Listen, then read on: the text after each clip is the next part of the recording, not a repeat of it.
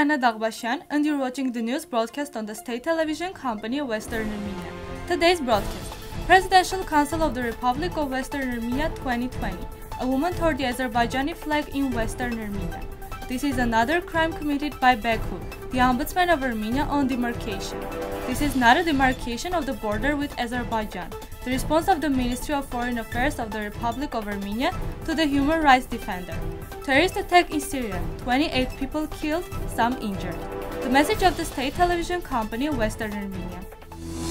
Dear compatriots, I am aware of our current situation, especially when I have information about what is happening on the borders of the Republic of Armenia. First of all, I would like to express my condolences to the families as a soldier of the nation. We were expecting a tribute of national and military respect in memory of the soldiers who fell in the field of honor of the sacred land of Artsakh, whose graves are partially located in the Yereblur Cemetery in Yerevan. We have seen a political march that did not refer to the military actions of those soldiers for the protection of Armenian territories and the Armenian civilian population. We, Western Armenia, remind that in accordance with the code of honor of our armed forces, it is necessary to organize a ceremony as soon as possible, which will be worthy of the fight against the death of our soldiers. Today, I want you to be sure that our positions are clear and that all these crimes will have an adequate response.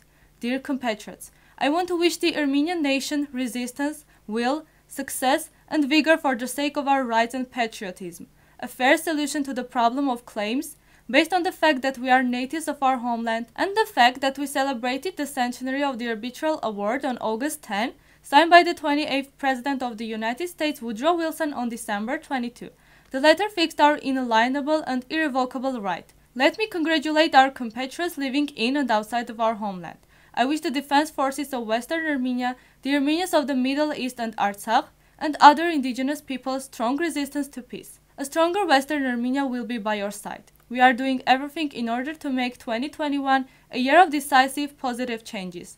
I wish the members of the Republic of Western Armenia, Armenian structures abroad, the National Council of Western Armenia, the members of the government of the Republic of Western Armenia, the deputies of the National Assembly, a year of unity. Let this positive change be a foundation for deep and harmonious activity on the difficult path of solving the national priority problem. May 2021 be a year of fulfillment of fair demands. Nothing is over. The struggle continues. December 31, 2020.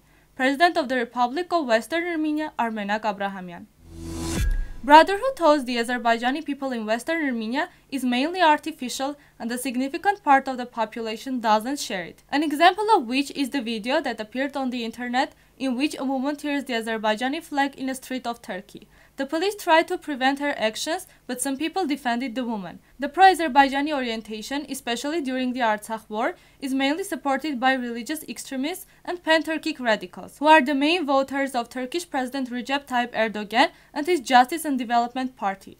President Armenak Abrahamian is sorry that the Armenian government and some Armenian political parties have not realized that Western Armenia is not Turkey just as Shushi, Hadrut, Askeran, Karvajar or Nakhichevan are not Azerbaijan. The retreat continues, including in Zangezur.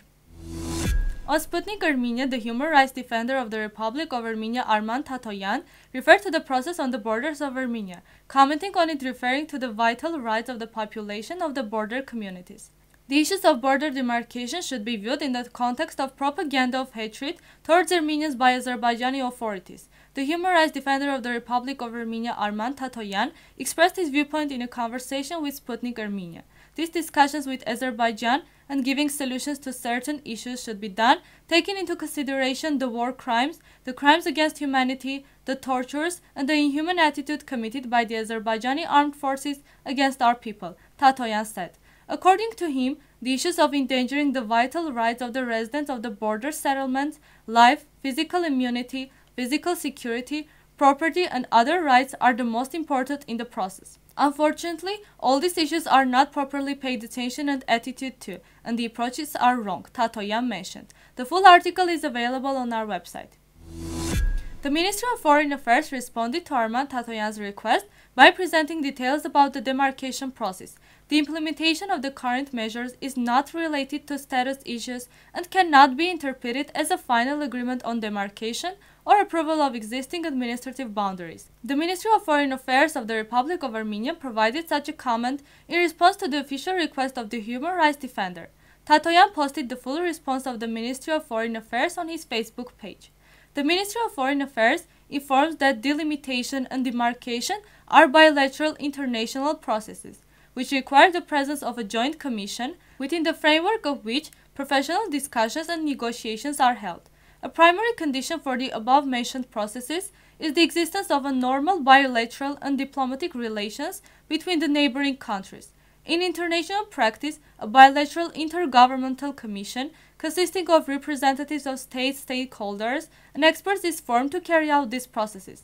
The full article is available on our website.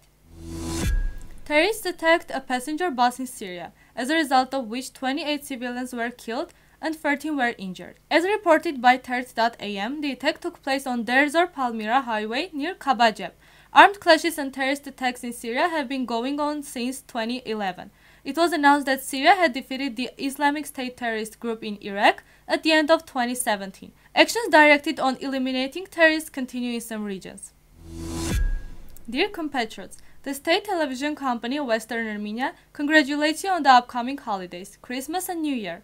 We are living 2020, a year full of trials and losses. This year, Armenia faced a war unleashed against us by Azerbaijan, Turkey, and their allied mercenary terrorists. We lost the battle. The war is surely not over yet. The final victory will be ours. Now, our main goal is to unite the potential of all Armenians for the glory of united Armenia.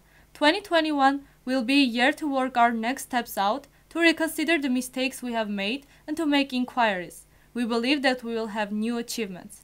Dear compatriots, we once again congratulate you on New Year and Christmas. May the New Year bring peace and prosperity to your families and our country. Glory to our heroes. Stay peaceful. Now we present you Sharan.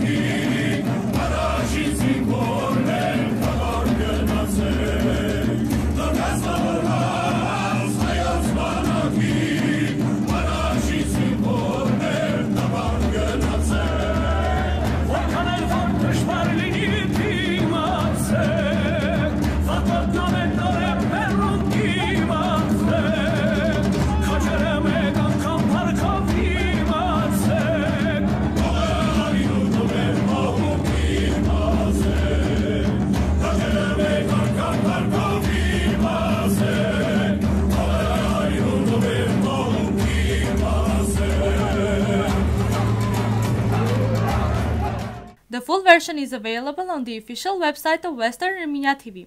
This was all for today. Goodbye.